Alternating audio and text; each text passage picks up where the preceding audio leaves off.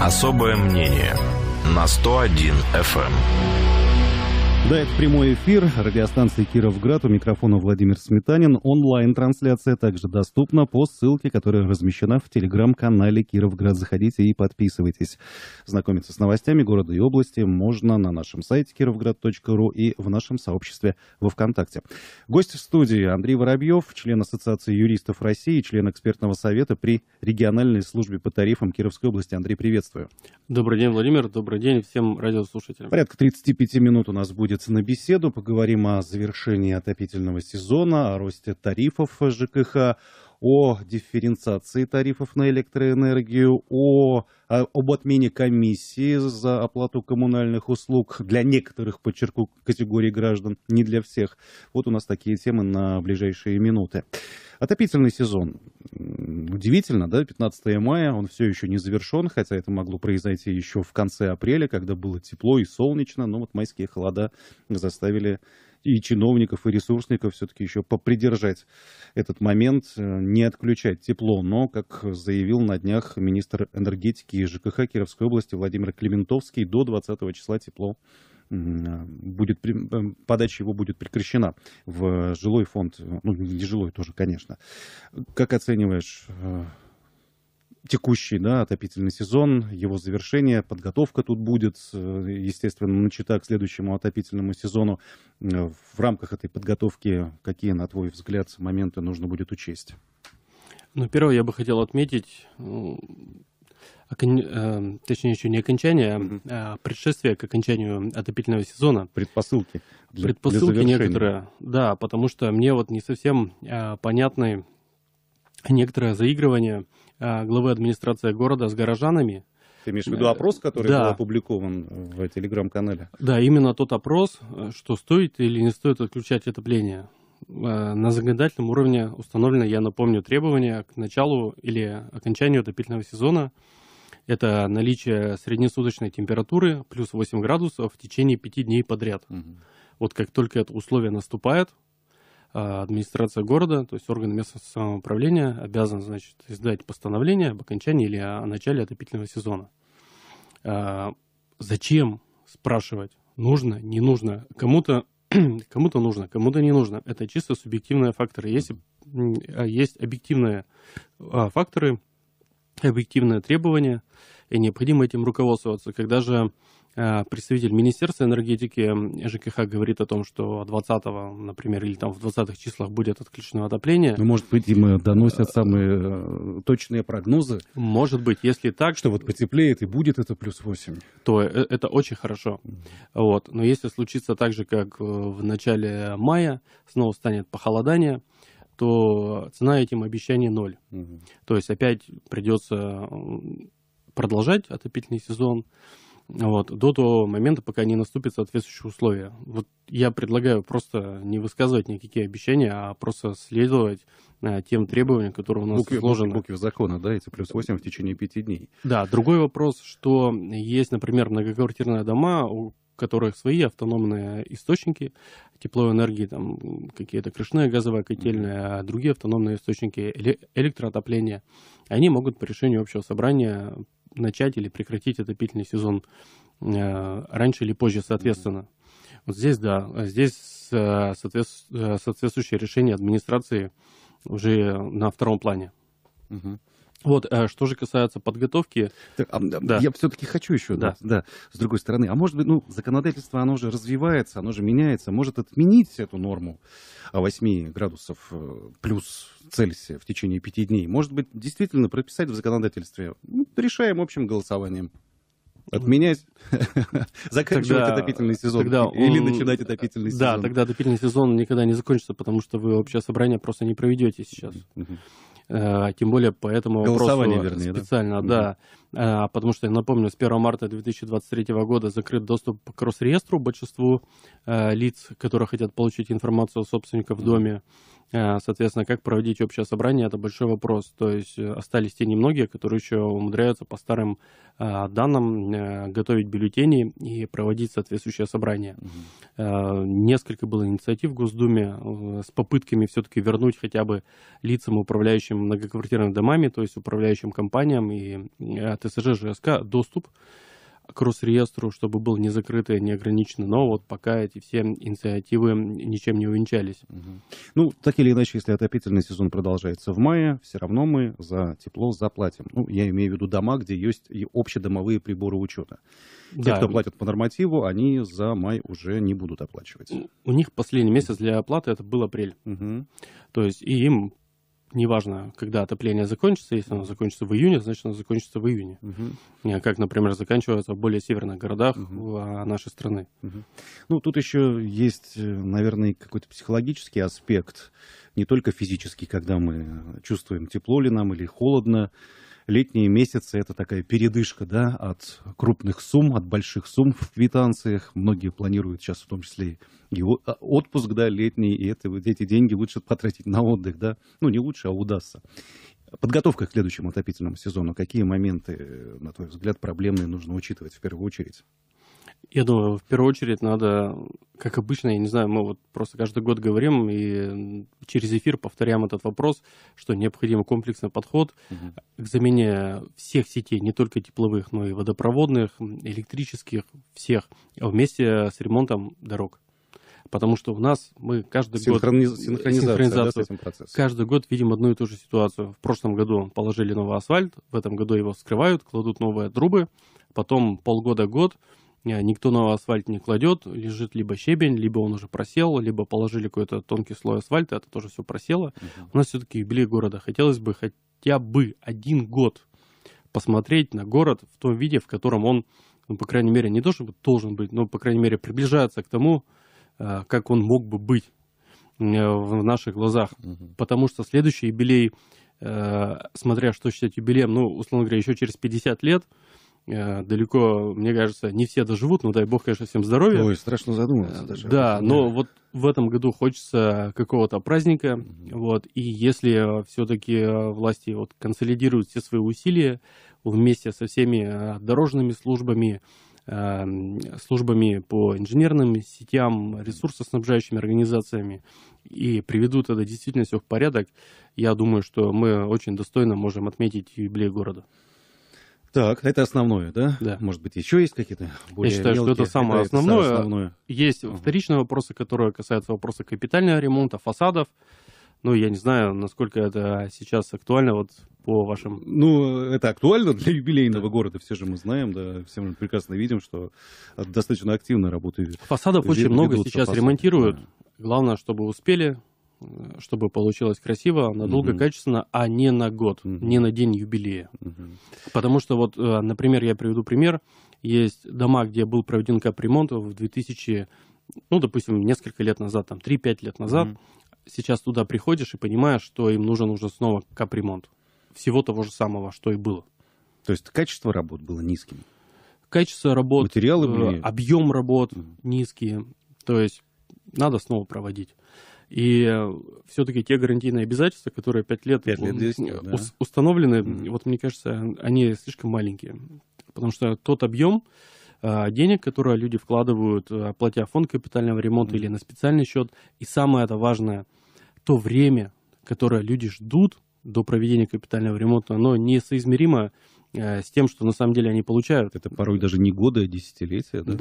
Да. И, и когда люди ждут по 5, по 10 лет, а получают вот какой-то такой небольшой ремонт, который близок даже к текущему, а не к капитальному, mm-hmm. ну, конечно, хочется чего-то больше. Потому что следующий капитальный ремонт по тому, э, по этому же виду работ, угу. они ну, неизвестно, например, когда крыша, еще получат. Да, там, там сделали крышу, значит, в следующий раз крышу угу. отремонтируют еще угу. через 25 угу. лет. Кстати, да, по поводу капремонта, раз уж мы ну, ушли немножко в эту сторону, очень часто сталкиваюсь с вопросами там, своих соседей да, по нашему дому. А почему нельзя по капремонту отремонтировать подъезд, например? Это ведь невозможно по действующему Нет, закону. А, потому что это текущий ремонт. Да. Может, включить как-то, подумать в эту сторону? Ну, у нас есть региональный закон, Мгм. 298 закон области э, об организации капитального ремонта. Э, Туда могут э, выйти с инициативой Мгм. Э, Наши законодатели, да, соответствующие субъекты, то есть или правительство Кировской области, или любой из депутатов законодательного собрания, общественная палата. Мгм. Вот, и а, предложить такую э, законодательную инициативу, если ее поддержат, почему бы и нет. Мгм. А, да, юбилейный год у нас э, совпадает э, с моментом повышения тарифов ЖКХ. Последний раз у нас индексация была в в декабре, с 1 декабря 2022 года. Тогда в 2022 году дважды была э, индексация, или там и вот ближе, июле и в да, декабре. в июле и в декабре. Это объяснялось стремлением как можно э, больше что-то там насытить, да, э, эту, вот эту сферу, э, избежать каких-то перебоев, аварий и так далее. И вот с 1 июля 2024 года будет очередной рост, причем рост довольно существенный.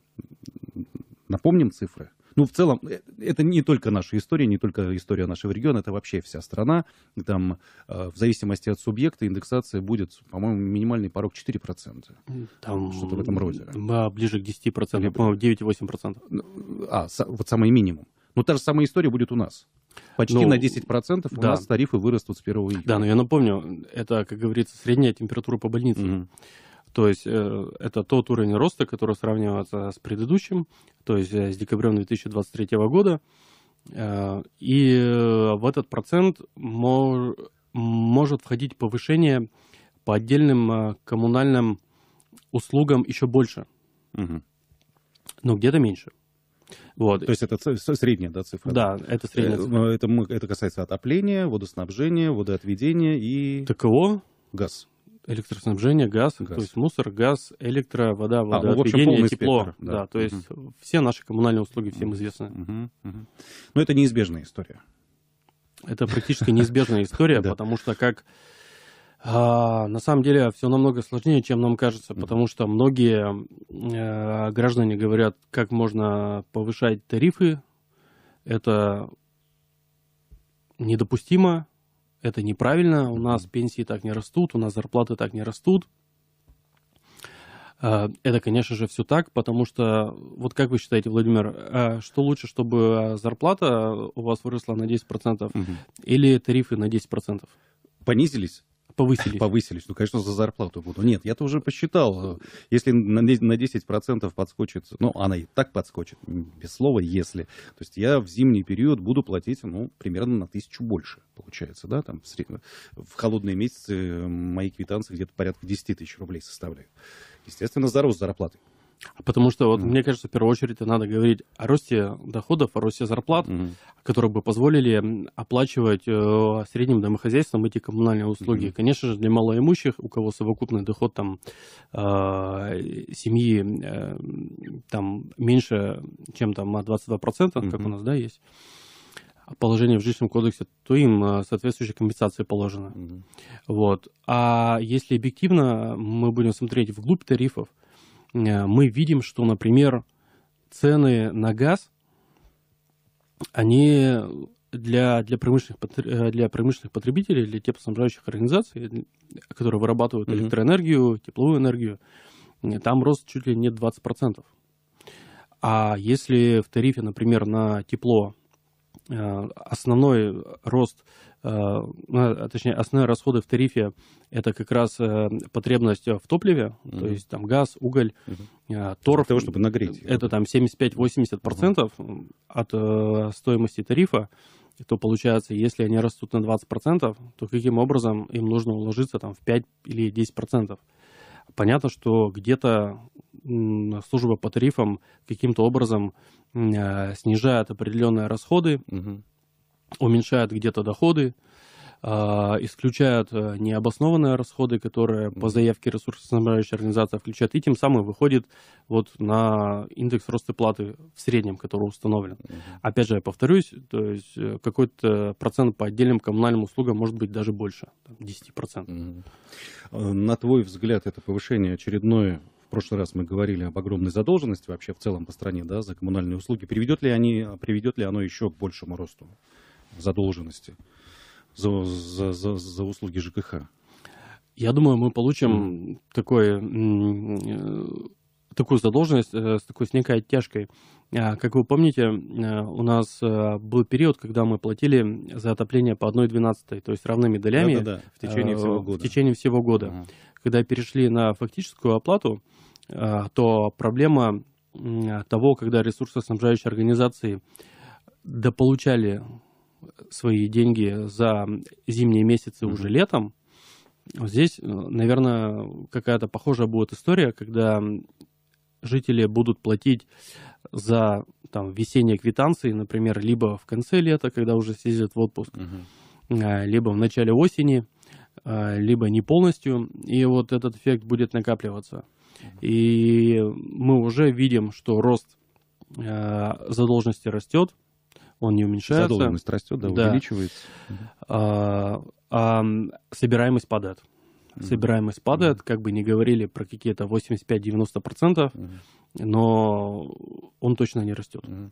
Может быть, э, как-то, не знаю, упрощать или, может быть, расширять упрощать условия получения субсидий на оплату коммунальных услуг. На мой взгляд, это достаточно сложная процедура у нас в настоящее время. Там собрать нужно кучу документов, доказать свою э, нуждаемость и так далее. Сейчас вот как раз внесли соответствующие угу. поправки, где по факту необходимо только подать заявление через госуслуги. Mm. Но это еще, не принято, это еще не принято. Нет, это уже принято. А, принято уже да. вещь. И, э, соответственно, можно уже получить соответствующий результат.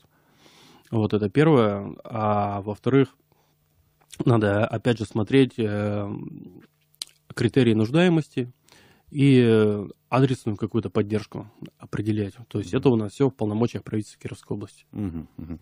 С 1 же июля этого года, это федеральный закон, банки перестанут взимать комиссию при оплате коммунальных услуг. Но это новшество будет действовать в отношении не всех граждан, а только лишь нескольких категорий. Перечислю некоторые пенсионеры, инвалиды, многодетные семьи, ветераны боевых действий. Вообще банковская комиссия, вот и для меня тоже в том числе, но это нечто непонятное. Ну, за что я плачу? Я думаю, что многие этим вопросом задаются. Почему я еще должен сверх платить того, что указано непосредственно в этих квитанциях? Ну, само по себе это решение положительный шаг, на твой взгляд? Давайте я сначала да. на первый вопрос попробую да. ответить, э, за что и почему вы должны платить. Угу. Если вы приходите оплачивать коммунальные услуги непосредственно к ресурсоснабжающей организации uh-huh. И приносите деньги налично или по карте, то у вас никакой комиссии нет. Uh-huh. То есть также в личном кабинете, например, у одного из крупного поставщика в городе можно без комиссии оплатить э, по, в целом по всей единой платежке. Uh-huh. А, что же касается банков, так как банк является, по сути, посредником между вами и какой-то ресурсоснабжающей организацией, то он э, за свою работу, пусть эта работа вам кажется, ну, по сути, никакой, да, то есть... Непонятный, да, непонятный и незначительный, да. то он за это берет комиссию. Угу. Вот, поэтому, если отменять комиссию для всех, то есть, если банки и там почта отменит комиссию для всех, угу. то соответствующие затраты лягут на плечи бизнеса. То есть очень просто. То есть готов ли бизнес к этому? Не знаю. А, с учетом того, что малому бизнесу точно знаю, что нелегко, вот, это в первую очередь удар по малому бизнесу будет, который платит за обслуживание, за расчетно-кассовое обслуживание. Вот, я думаю, что это тоже одновременно приведет к росту стоимости услуг малого бизнеса и опять же скажется на всех граждан. В общем, такая интересная очень история. Но хотелось бы однажды э, узнать о том, что все жители Российской Федерации попали ну, вот 1 в, спис- мая... список людей, которые освобождены от Освобождены. Ну, вот 1 мая хотя бы освободили mm-hmm. от комиссию по переводам по СБП между своими между счетами. Своими счетами, да. Да, или, или там, по крайней мере, лимит ну, до 30 миллионов рублей. Угу. А, ну да, э, рекламу сейчас мы видим, банки активно пользуются, уже призывают да, открывать счета, но мы сейчас не рекламируем, да, не будем об этом, не будем в эту сторону. Еще э, эта дата, 1 июля этого года, связана с еще одной инициативой, это, это дифференцированные, дифференцированные тарифы на электроэнергию. Они точно уже да, вступят да. в силу вот это решение да. с 1 июля.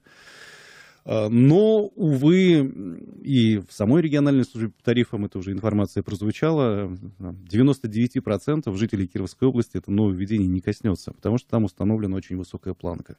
15 тысяч киловатт-часов, 15 нижняя тысяч, планка. Да, в месяц. В месяц. Вот, например, моя семья в месяц ну, не более 120-130 киловатт-часов расходует.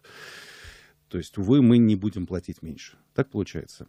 Какие еще интересные нюансы есть? Вы не будете платить больше. А, не, да, не будем платить больше, да. Вот, вот если бы соточку установить, да? Ну, об этом же... Ну, не знаю, на мой взгляд. Были разговоры mm. при э, еще руководстве Никиты Юрьевича. А, я напомню, да, помню. даже... Это порядка 10 лет назад было. Да, и эм, тогда как раз активно ходили слухи про социальную норму. Угу. По да, да, да, да. электроэнергии было в некоторых регионах пилотные проекты угу. запущены и приняты эти социальные нормы.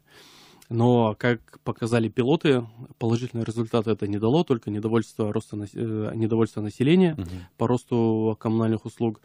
Я напомню, у нас в Кировской области также была создана рабочая группа по социальной норме.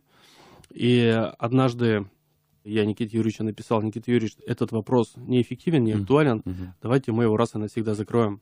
И где-то через пару дней он у себя написал в соцсети, что указом он ее расформировал, эту рабочую группу mm-hmm. по социальной норме. Вот. Это я к тому, что уже были предпосылки, уже, в принципе, мы знаем все результаты, к чему это может привести. Угу. То, есть, и, то есть, на твой взгляд, это вообще бессмысленная история? Это вообще бессмысленно, потому что какие-то нормы. чем больше ты потребляешь, угу. тем больше ты платишь. То есть take or pay, or pay да, то есть бери и плати. Угу. Вот. И то есть это принцип, он везде работает во всем мире, то есть чем больше ты потребляешь, тем больше ты платишь. Uh-huh. Вот, и здесь, э, конечно, эта планка, это больше, на мой взгляд, была введена для майнеров. А, правда, не знаю. Ну, в собой РСТ, по-моему, тоже Максим Михайлов, руководитель РСТ, говорил о том, что а, я тогда, когда прочитал эту новость, подумал, ну, конечно, у нас тут настоящий клондайк ферм, да, которые биткоины э, производят. Ну, они есть, угу. конечно. Угу. А, вопрос только в том, что вот через этот механизм по сути, решили вопрос неэффективности работы энергоснабжающих организаций, mm-hmm. которые не знают, как или не могут выявить вот это потребление, сверхвысокое потребление у майнеров. Mm-hmm. Потому что если... Технически не могут Технически не могут. выявить, да? Да, потому что ведь этот вопрос так-то он решен. Так как э, ты электроэнергию используешь не для личных бытовых нужд, угу. то ты должен платить по коммерческому тарифу, то есть по нерегулируемым ценам. И если майнеров Предприниматели выявляют... часто жалуются на это, да, что они платят. Да, вот если майнеров... Слишком много, на их взгляд. Выявляют энергосбыт, им перевыставляют по нерегулируемым ценам. Mm-hmm. Но вопрос, как их найти и выявить, потому что, как правило, все эти фермы и аськи, они стоят там на каких-то на дачах, там, в садоводческих mm-hmm. там, каких-то там домиках, и зимой их выявить, в принципе, несложно. Надо просто иметь тепловизор. И я внимательно посмотрю, то есть ну, если да. там все греется, где, да, где, где жизнь есть. Да, и красная э, крыша, то, скорее всего, угу. там, э, там что-то стоит. Угу. Вот. И, соответственно, энергосбыт их так находит. А летом-то как это сделать? Это, летом это практически нереально. Ну, приборы же должны существовать. Не, не только какой-то индивидуальный счетчик на каждом домовладении, домохозяйстве, но и общая какая-то установка нет, кого нет у них разве? У, у кого-то еще до сих пор стоят индукционные, не индукционные, да, вот эти счетчики mm с диском, который крутится, mm где до сих пор Помним такие из детства, еще да. можно поставить специальное устройство, чтобы диск не крутился. Мы сейчас не будем по радио не будем эти склонять лайф, к этим, это, да. хаки говорить. Вот, потому что еще, не дай бог, еще все вспомнят эти все советские ноу-хау. Вот, поэтому это, по сути, вот несовершенство деятельности э, энергоснабжающих организаций, по сути, привело к, э, к такой законодательной инициативе. То есть потребляешь слишком много, mm-hmm. значит, скорее всего, ты майнер, и, и будешь платить больше. Опасность-то в другом. Опасность в другом, чтобы эта планка не сдвигалась в меньшую сторону mm-hmm. в ближайшем то есть, будущем. пока 15 тысяч, пока. Потому и что надеемся, есть... что это окончательное решение. Да. Потому что есть и домохозяйства, у кого электроотопление угу. у которых нет возможности подключить газ. Угу. у которых нет там возможности отапливать дровами, углем, мазутом и так далее. Ну или они сознательно отказались от этого, да, понимая, что они готовы будут оплачивать электроэнергию за отопление собственного жилища. Да, у кого-то просто других вариантов нет. Есть многоквартирные дома, которые отапливаются с помощью электрокотлов. Вот. Соответственно, вот эти надо все моменты учитывать. Мы подошли к небольшой рекламе. Я напоминаю, что в студии нашей Андрей Воробьев, член Ассоциации юристов России, член экспертного совета при региональной службе по тарифам Кировской области. Мы буквально на одну минуту прервемся и нашу беседу продолжим. Особое мнение на 101 FM. Мы продолжаем наш разговор с Андреем Воробьевым, членом Ассоциации юристов России, членом экспертного совета при региональной службе по тарифам Кировской области. И вся наша беседа построена на обсуждении тем, связанных со сферой ЖКХ.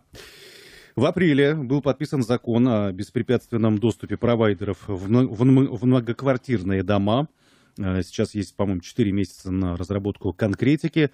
Э, ясности еще стопроцентной нет как и у самих собственников, как у управляющих компаний и тех самых провайдеров. Вот многие эксперты уже говорят о том, что проиграют жители многоквартирных домов, где установлено оборудование. Ранее они могли получать ну, некую аренду да, за использование своего помещения, и эти деньги могли пускаться, идти на какое-то благоустройство. Хоть деньги и небольшие, но все-таки. Как оцениваешь эти э, изменения? Проиграют все. Все проиграют. Кроме провайдеров. А, а что самое интересное, а, понятно, что здесь идет перекос по, по балансу публичных и частных интересов, угу.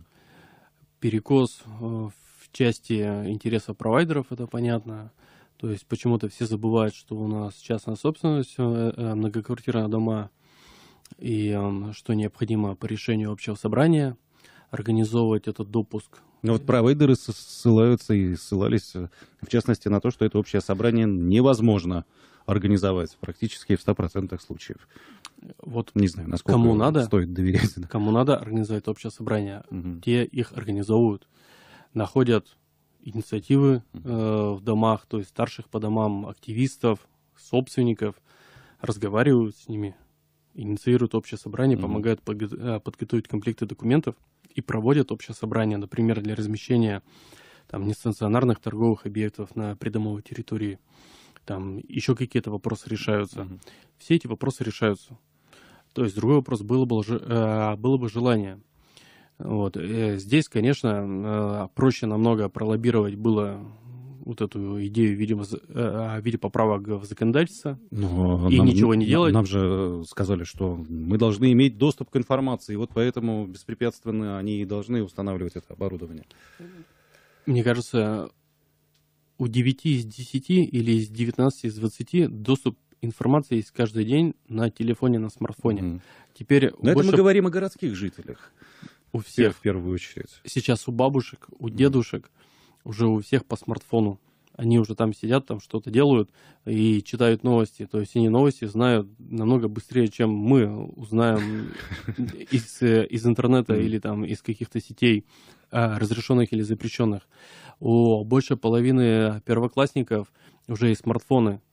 То есть они тоже информацию всю знают, что происходит. А если не знают, могут позвонить и узнать mm. родителям или друзьям. Вот, поэтому доступ э, к информации никто никого не ограничивал.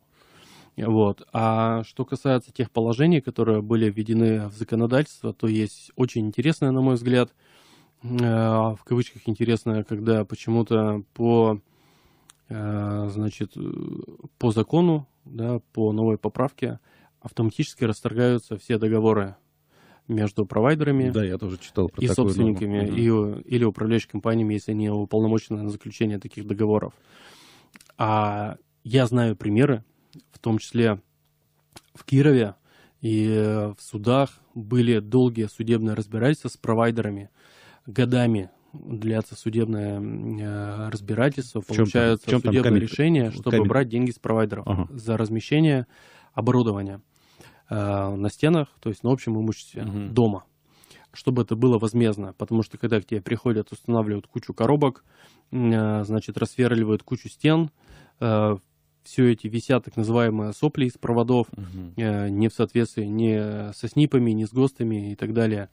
Вот, это все небезопасно, управляющие компании штрафуют за нарушение норм пожарной безопасности, а почему-то не провайдеров. Угу. Как, вот. как, собственно, причину туда всех этих неудобств?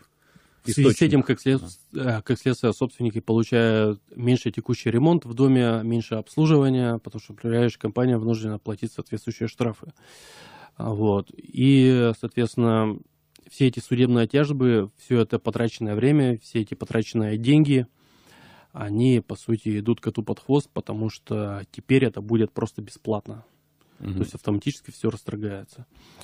Другой вопрос, ли расторгаются ли договоры, которые, по сути, приравнены к решениям суда. Это, ну, это, это тоже более, более тяжеловесная такая история, да? Да. Когда это судебное решение. Вот, поэтому посмотрим, как будет развиваться практика, но mm я точно знаю и разговаривал со многими экспертами э, столичными, которые пишут уже заключение а, по антикоррупционной экспертизе того проекта, который разместило а, правительство угу. по, по изданию подзаконного акта, да, к поправкам в жилищный кодекс и законе о связи. И я думаю, что часть этих предложений и антикоррупцию, э, антикоррупционную экспертизу, по крайней мере, с первого раза этот проект не пройдет. Я, в свою очередь, как э, уполномоченный эксперт на проведение такой же антикоррупционной экспертизы нормативных проектов, тоже готовлю это заключение, тоже его планирую отправить.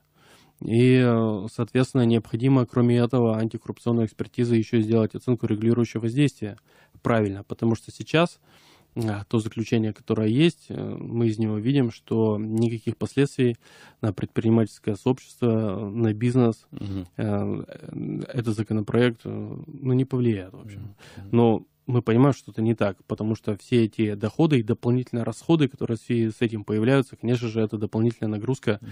на управляющие компании, которые деньги могут брать только из карманов жильцов. И, например, э, такие обязанности, которые вменяются, например, там, передать всю техническую документацию, этим провайдерам, чтобы они смогли эти все угу. провода чтобы технически проводить. правильно да, все да. это организовать. Ну угу. и, и другие избыточные нормы, которые могли бы просто быть решены в договоре, угу. но теперь этого не будет. Угу. Э, буквально полторы минуты у нас остается. Если можно коротко, мы обсудим еще один законопроект. Подчеркну, это законопроект еще, это не решение. В общем, россиянам э, хотят дать возможность выбирать, получать им квитанции за коммунальные услуги в бумажном либо в электронном виде. Такой законопроект был в апреле еще. Не знаю, там чем история закончится. Э, твоя позиция надо внедрять? Я видел проект а. этого закона. Угу. Там на самом деле не так написано, как написали журналисты. Да? Да. Там написали, у нас. Да, там написали, что это собственники вправе отказаться от получения бумажной квитанции А-а-а. и получать электронную. То есть никто э, по там, по решению закона не, не лишит э, всех там граждан получать бумажные квитанции. Угу. Тем более мы понимаем, к чему это приведет. А скорее всего это приведет к тому, что а, задолженность будет ну, еще быстрее оплата, расти. Да, да, да, та же неоплата. Несмотря на то, что, отвечая на прошлый вопрос, ты сказал, что многие бабушки и дедушки пользуются э, смартфонами, да, и читают новости, но, увы, у многих, опять же, бабушек и дедушек нет возможности через интернет получить эти электронные версии квитанций. Может быть, и даже есть, есть, но им психологически нужен бумажный чек, ага. что они заплатили. Его вот уж это верно, буду хранить. Да, да, да. Прикрепили квитанции mm и положили в шкафчик и закрыли на замок. mm В общем, такая неоднозначная история тоже. Благодарю нашего гостя Андрей Воробьев, член Ассоциации юристов России, член экспертного совета при региональной службе по тарифам Кировской области. Хорошего дня. Всего доброго. Да, до свидания. Особое мнение на 101 FM.